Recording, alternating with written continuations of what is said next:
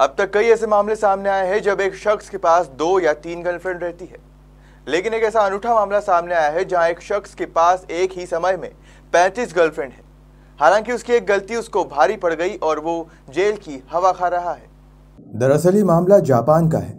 Police ने एक ही समय में 35 अलग अलग महिलाओं के साथ रिलेशन रखने वाले शख्स को गिरफ़्तार किया है। इसने सभी महिलाओं से अपना अलग अलग जन्मदिन बताया था। इस पूरे मामले का खुलासा भी बड़े दिलचस्प तरीके से हुआ। रिपोर्ट के मुताबिक उनचालीस साल के शख्स का नाम ताकाशी मियागावा है।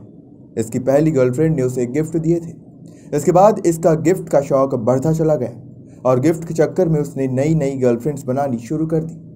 कुछ ही दिनों में यह आंकड़ा पैंतीस पर पहुँच गया। दिलचस्प बात यह है कि उसने किसी भी पुरानी गर्लफ्रेंड को नहीं छोड़ा। वो सभी को एक साथ डेट करता रहा। रिपोर्ट में बताया गया कि इसके पीछे उसका मकसद प्यार नहीं।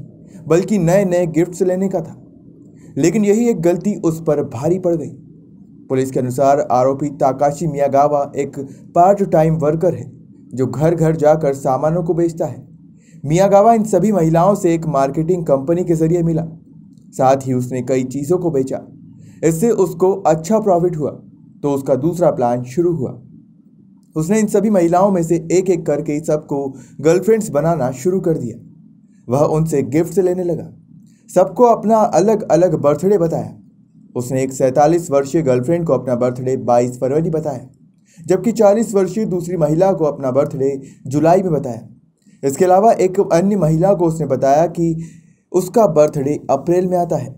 उसका वास्तविक बर्थडे चौदह नवंबर था, लेकिन सबको अलग अलग डेट बताकर उसने पार्टी की और उन महिलाओं से महँगे महँगे गिफ्ट लिए। इसके बाद अचानक एक एक महिला को उसकी धोखे का कुछ एहसास हुआ। तो उसने पुलिस के पास शिकायत कर दी। पुलिस ने जाँच शुरू की तो चौंकाने वाला खुलासा हुआ। मामले का खुलासा होते ही मियाँ गावा की एक एक करके पैंतीस गर्लफ्रेंड सामने आई। ज़्यादातर वो सिंगल महिलाओं को निशाना बनाता था और सबसे शादी की बात कहकर उन्हें फंसा लेता था। फ़िलहाल अब वो पुलिस की गिरफ्त में है। मीडिया ने भी उसे जापानी रोमियो नाम दिया है। पुलिस ने बताया कि इन सभी महिलाओं ने मियागावा को एक से बढ़कर एक महँगे गिफ्ट दिए हैं। इनमें कपड़े, गिफ्ट आइटम और कैश शामिल है। आरोपी इन सभी पीड़ित महिलाओं से बिक्री करने वालों की एक मार्केटिंग कंपनी के लिए काम करते समय मिला था। फ़िलहाल पुलिस ने मियागावा को गिरफ़्तार कर जेल भेज दिया है। आरोपी के पास रहने का कोई निश्चित ठिकाना तक नहीं है।